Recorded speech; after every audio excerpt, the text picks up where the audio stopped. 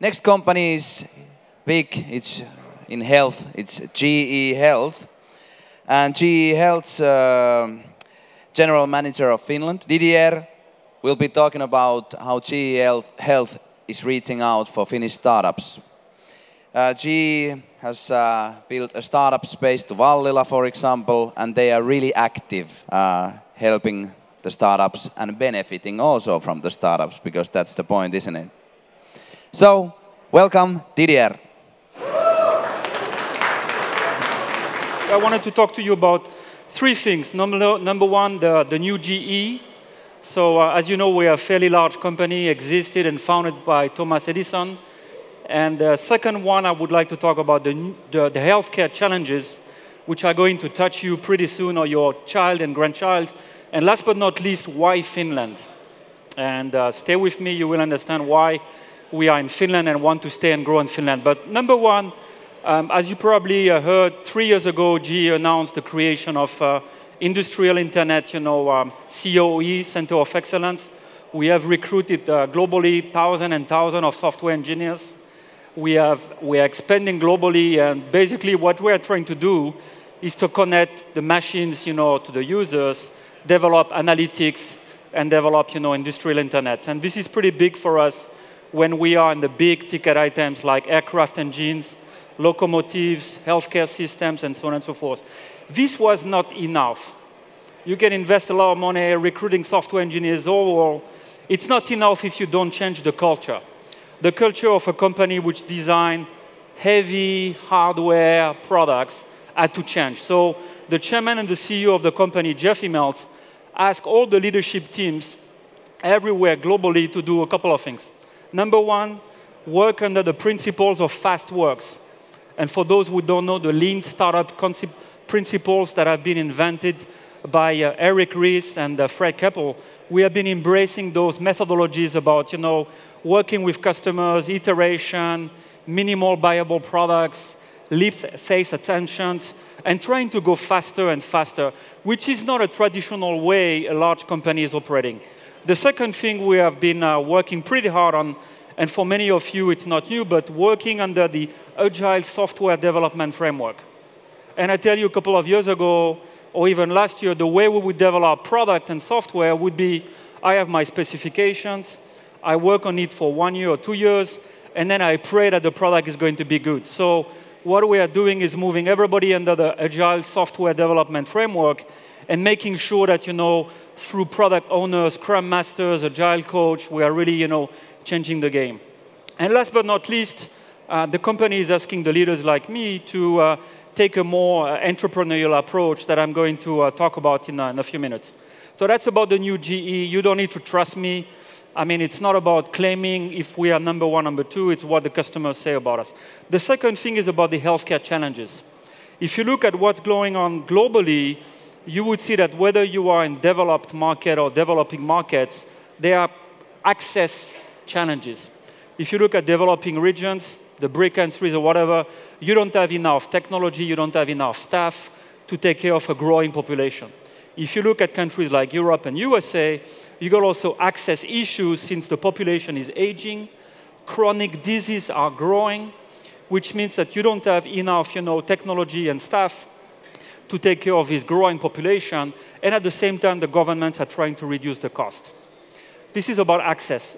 When it comes to qualities, just so that you know, hospitals kill more patients per year through infections than car accidents, breast cancer, and AIDS. I repeat, hospital infections kill more patients than car accidents, breast cancer, and AIDS.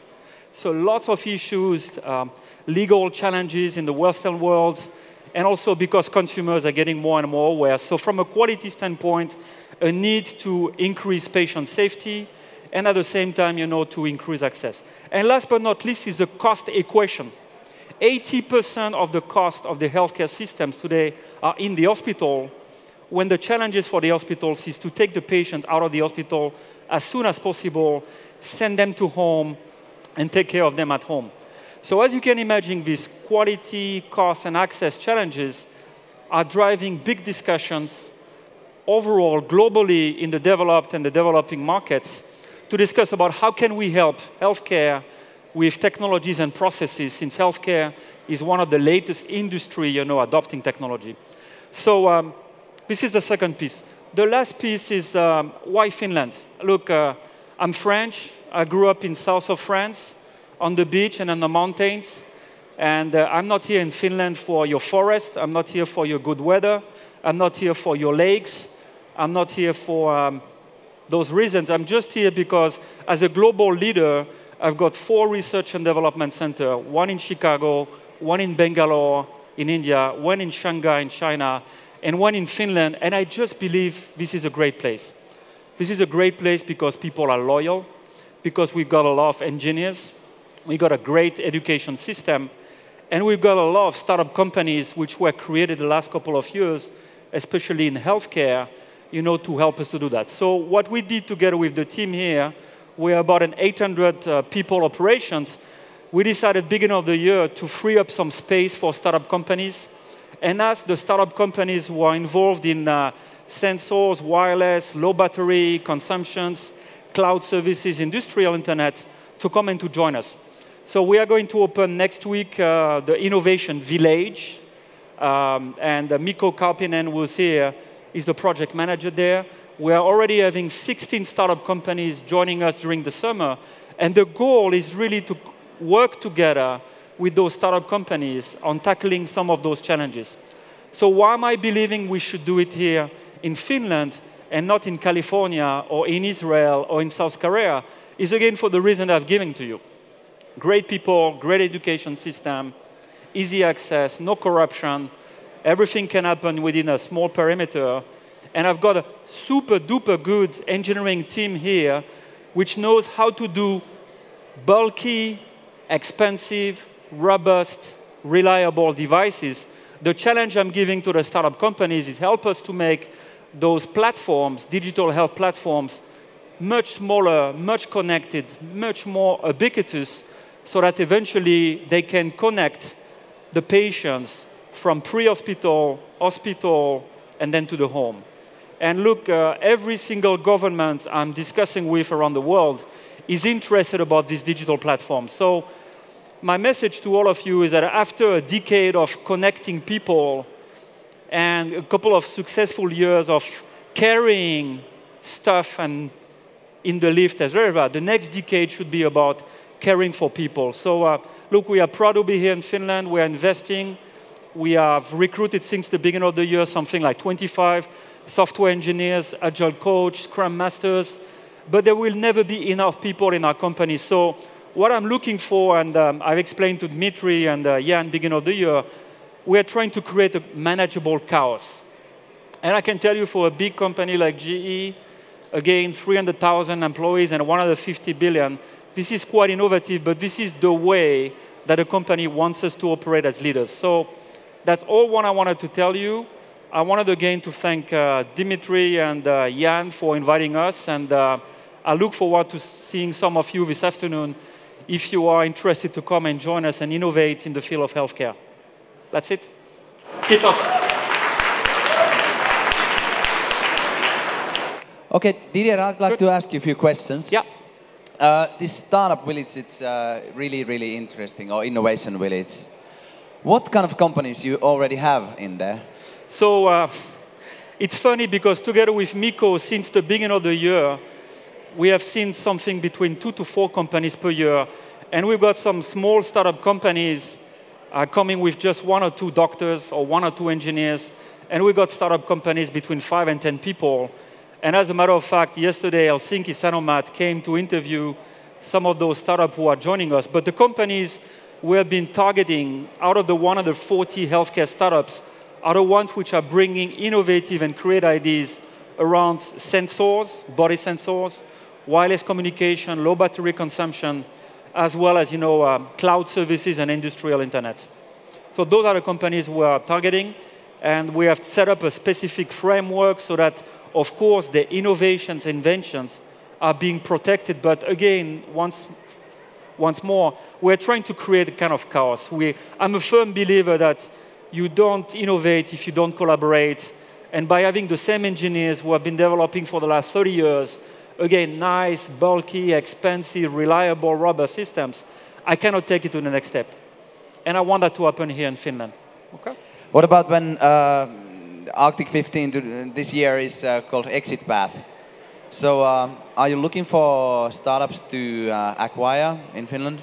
So the, the first, uh, the first thing we are doing is creating this um, ecosystem with startups to come there. And this is an experiment. This is like fast works. You go and you try and you build. And then the, the idea is uh, GE Ventures, is a VC arm of GE, is going to visit us uh, once or two, two times a year to go and visit some startup companies and to see if we need to invest. So that's the idea, creating a platform for our own VC arm to visit them and to see how we, um, we can partner, put some money or acquire some of them. Okay? Or maybe uh, Mikko can tell everybody who's in more interested about this, like how, the, uh, how it goes if somebody wants to join your... So if anybody, yeah. Yeah. Okay, there's a question in the audience. Another question. Questions coming in.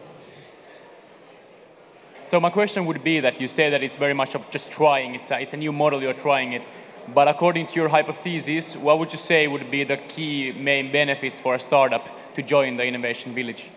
So uh, look, for those healthcare startups who are interested to invent and innovate, the fact of being part of a campus is going to be beneficial because they are going to discuss about healthcare and healthcare challenges every day instead of being a high-tech campus. So that's number one. They're going to discuss with people, business, engineers, marketing, who have been in this industry for 20 years. And last but not least, you know, if we are successful, we might get some funding and money from GE Ventures and the money company to help those startups. But I can tell you the world of healthcare is growing. Every single big company is in healthcare. There is a massive problem, which means that I would recommend to the healthcare startup companies to really think about what type of problems are you looking for and not just developing technology for the sake of technology, and look at the outcomes and not just the activities. Hospitals today are looking at increasing access, increasing patient safety, and reducing costs. So the perfect storm, um, with the people I was discussing this morning, 10% of the GDP is spent in healthcare. And it's not going to go down, but it has to be more efficient. So that's what we can offer to those companies, is partner with them, help them, at the beginning, it might just be some space, and then collaborate furthermore if needed. More questions? There was some. Dimitri? Hi, Didier. Yeah. Um, I got a question for you. The first time we met uh, at your offices, and you showed us around, and uh, you know, I was expecting a lot of gray and a lot of stuff, but you actually, you know, got rid of all the furniture. You painted everything green and red. Actually, you let your employees paint it whatever color they wanted. And I've not seen many like old school corporations do that. So can you tell us a bit more about what made you do that? What made you to try to change the culture? And how are the people responding to it within the organization? Look, look two, two things. First of all, at our global leadership meeting, we got brainwashed by the chairman and startup companies who came and talked to us. That's number one. But number two, which was a shocking factor, I have two young daughters, one 15 and one 19 and my 19 years old is studying in Argentina after studying in Spain and Barcelona. So the kind of young population. And she came and visited me in January, and I took her during the weekend to our offices. And she told me, You know, Dad, I would never come and work for you. And I asked her why that, and she said, Your place is ugly. and I said, What's wrong with the place? We have engineers in cubicles, each of them are having their space and we got a nice cafeteria and food and garage, and we wash the car. What's wrong with that? And then she was doing um, an internship in a startup company here in Finland, and she took me there. And I realized, how am I going to attract 20, 30, 50 talented software engineers in Finland if I keep operating with cubicles and black and white walls and the old-fashioned way. So that was the starting point. And I tell you, the, the employees, my good engineers who know how to develop bulky, expensive, reliable devices. At the beginning, they didn't want that. When we started to remove the walls, they didn't want. Now they all want to do it. They painted, they became crazy, they took pictures, you have wallpapers on the walls. They even created internal cottages in the, in the company. And all of a sudden, it created a new spirit. So hopefully, it's creating a dynamism and innovative culture. It's going also to attract more startup companies. But what we have done, and uh, I'm super proud of the work that Mikko has been doing, is we took uh, the designers from the uh, Aalto uh, Design Factory. They came in our office. They met the startup. And actually, the place for the startup is designed by the startups. Is designed by the startups. And that's, I think, what is going to be innovative. I tell you, trying to move a company which is more than 100 years old and so big has not been easy. But our chairman and the CEO of GE Healthcare are really pushing us to the next level. So um, again, when you come back, Dmitry, you will be amazed about uh, the place changing. And this is the new GE. This is about fast work. This is being about agile. And uh, I engage you and invite you to come and see us. Many corporations are, are struggling with the change, struggling to become startup friendly. Uh, and it's, it's, you said about the engineers were afraid of the change and then now they love it. But what about uh, people under you, the middle management? Because it's been a big change for them also, hasn't it? It has been a big change. And uh, between you and me, at the beginning, I did one mistake. I was driving everything myself at the speed of light. And then I realized that I needed my middle management, you know, to help me. So I've got a very good team, and Mikko is one of them. And can you believe this guy is a finance guy? He's the CFO, and he became super creative. He's spending, I think, more time now on the startup companies and the village than on our financial issues. But I've got a manufacturing, uh, Mikko, and marketing, and a couple of engineers, not necessarily super young, engaged and also they saw the results. We recruited people, 25 people like this, when, when I was here 11 years ago, because I forgot to tell you, I used to live here also 11 years ago, we had difficulties to recruit talents.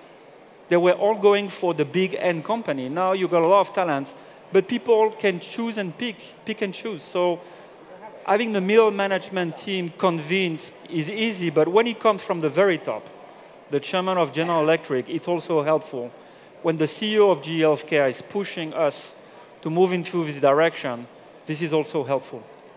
Okay? That's very promising, I tell you. There's another question. Mr. Mike? I think I know this gentleman. Right. Uh, hi, I'm Pekka Koponen from Spinverse. I'm going to speak a bit later about our experience on bridging the large companies and startups. I have a question to you about the competitiveness of Finnish innovation system.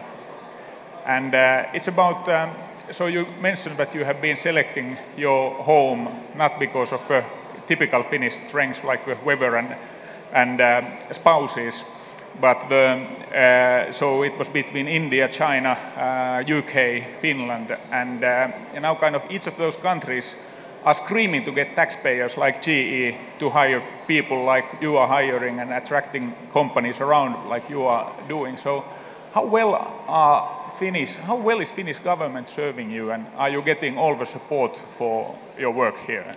Look, I cannot disclose what I'm getting from the government. I was with them this morning. That's why but, I'm asking. But uh, if you look at the Q1, the GDP was down, unemployment rate was close to 10%. I think everybody in this country is eager to create jobs, to create value.